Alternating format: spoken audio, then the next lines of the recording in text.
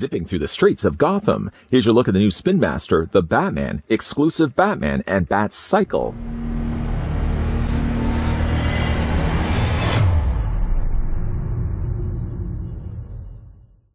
The exclusive Wingsuit Batman Bat Cycle Pack is a must-have for Batman fans, only available at Walmart. Protect Gotham City with the 4-inch Batman figure and race into action on the Batman Bat Cycle, featuring authentic movie-style sculpting that will bring your Batman adventures to life.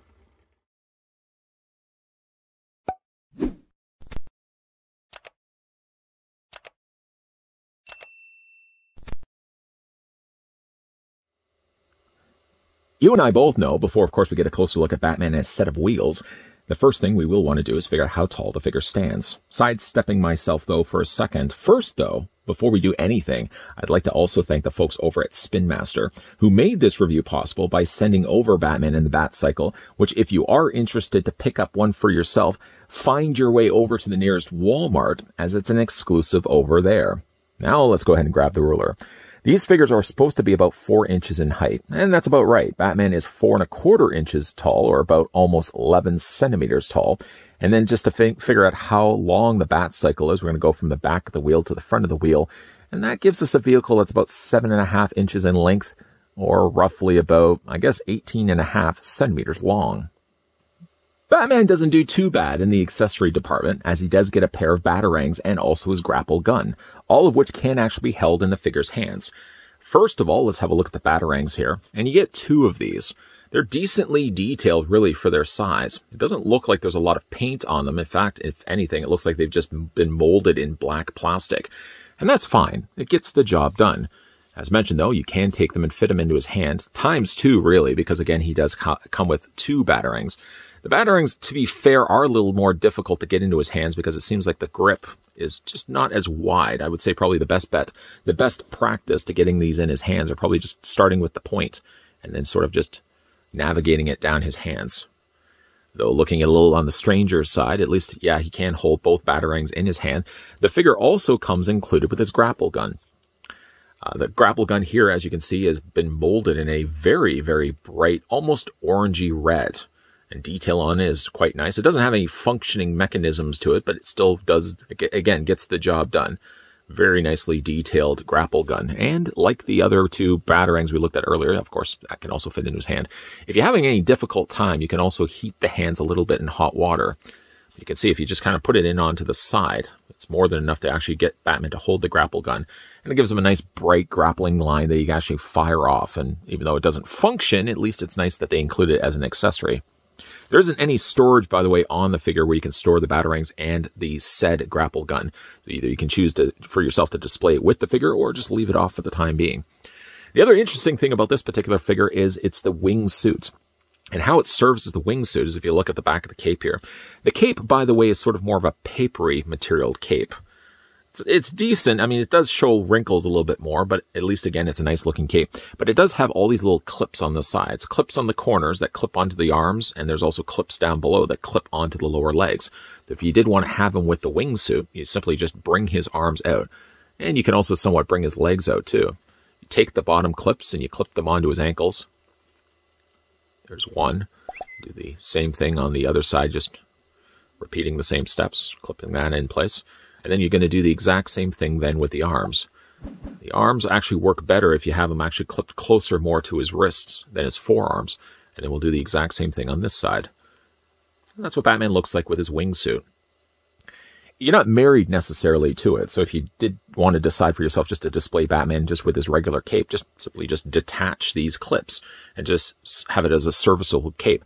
The only thing, of course, by removing the clips and having the cape just freely flowing behind him is that you're going to see these clips. But you can kind of just tuck these behind. And then, you know, from the front, you're not going to probably see it as much. Well, if anything, you'll see more of the clips down below than the ones on the top. As for the figure itself, a smaller, geared, might I also mention, towards children, I think these are decently looking Batman figures. Now, I've really been a big fan of the Spin Master smaller four inch tall figures. I have to really kind of be in that mindset of thinking, like, as a kid, and even as a grown kid myself, I think they're fun figures. They're fairly, fairly posable as well. This particular Batman, as you can see, there's his head sculpt right there. It's painted pretty good, again, for the sizing of what and the demographics really in which these toys are geared towards. He does have notably these gashes, these scratches across his torso. They've been all effectively done by using silver paint. He also has a couple of these also on his side legs as well. Um, the coloring on him is kind of more of a very, very dark, dark I don't want to say black. It's almost, if anything, like a really dark gunmetal gray. And that works really well then to have things like his logo, the coloring of his cape, the gauntlets of his arms, his utility belt, and even the pocket on the side of his leg stand out more than just having it all the color of black. And of course, even in the film too, he's got more of a dark gray suit than he does have black. But yeah, decent looking figure overall. Just flipping the cape up so you can see there's just as much work done to the back of his torso as there was also to the front of the figure's torso. For the figure's articulation, Batman's head rotates all the way around. It hinges slightly up, more so down. And yeah, you can uh, rock it just a little bit, just a little bit back and forth arms quite easily can come out to pull off a 90 degree angle bend. You can, of course, then take those arms, rotate them all the way around. Uh, the little parts to his cape do stick out a little bit past his shoulders. So while you are rotating his arm, you'll kind of notice it hits a little bit of a snag. Just sort of bend it more on an angle and it, it gets the job done. Figure does have a bend in the elbow, which also serves to rotate the lower forearm. The figure also does have hand articulation. I think he does have. No, he actually doesn't have hand articulation. But basically, it's just the forearms. Uh, waist doesn't have any articulation, but then again, at least the legs do split and you get a full Van Damme splits. Three quarters of the way up the thigh, there's a swivel cut that rotates the leg all the way around. A single hinge on the knee also allows the lower leg to rotate. And there is no foot articulation. It's all basically molded to do a continuation of the rest of his boots. Nice looking Batman, I have to say. Again, gearing it towards the kids, which is really what this line is geared towards. But, you know, still for an older adult collector myself, I can definitely see the appeal in this line. Moving then our attention over to the Bat Cycle. They have certainly slathered, dare I say the word slather, they have splattered a lot of muddy brown all over the wheels. So it does look like Batman's been driving this around. Maybe not on the city streets of Gotham, but maybe like the back wooded areas, muddy terrain more so.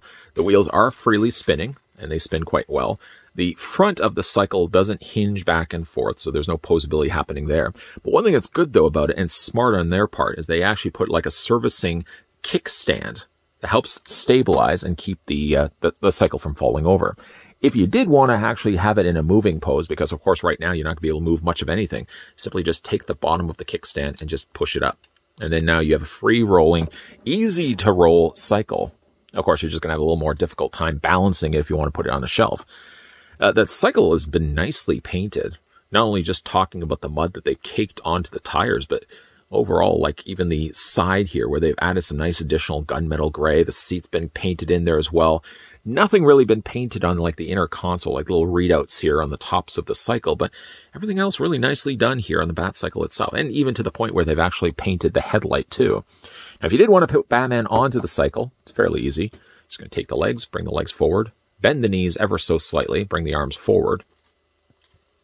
This goes back to the old days of any kid that would have had a cycle with a rider. It works the exact same way. You're also going to want to twist the arms slightly, twisting them, of course, at the elbow area, fitting the one hand onto the handlebar, doing the exact same thing, of course, on the other side. You may also want to be able to bring Batman's head up so you can actually see where he's going and then just sort of compensate it with the legs on the sides.